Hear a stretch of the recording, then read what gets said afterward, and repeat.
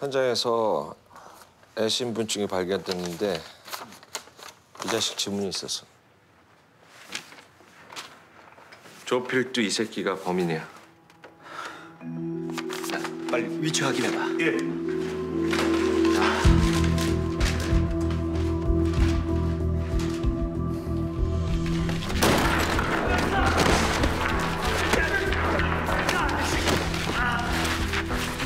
자.